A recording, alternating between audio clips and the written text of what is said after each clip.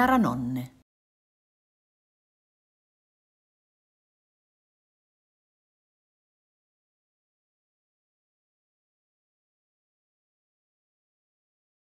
Cappuccetto rosso. C'era una volta una bimba chiamata Cappuccetto rosso. Un giorno la mamma la mandò a trovare la nonna malata per portarle una torta e farle compagnia. Ma attenta, non passare per il bosco, le disse. Cappuccetto rosso non ascoltò la mamma e prese la strada del bosco. La bimba incontrò il lupo che le consigliò di andare a raccogliere dei fiori per la nonna in un prato vicino.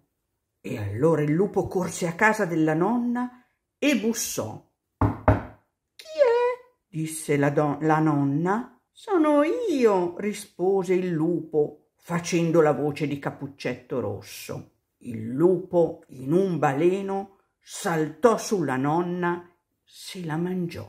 Quando Cappuccetto Rosso arrivò, trovò la porta aperta. Ciao nonna, come stai? Sono venuta a trovarti. Ma nonna, che orecchie grandi che hai! È per sentirti meglio. Che occhi grandi! È per guardarti meglio. Che bocca grande! è per mangiarti meglio. In un boccone se la mangiò. Il lupo sazio si mise a dormire. Un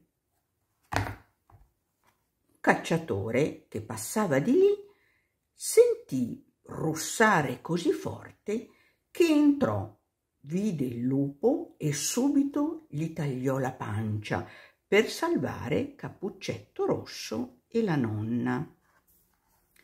La nonna e Cappuccetto Rosso si abbracciarono felici e per festeggiare mangiarono insieme la torta della mamma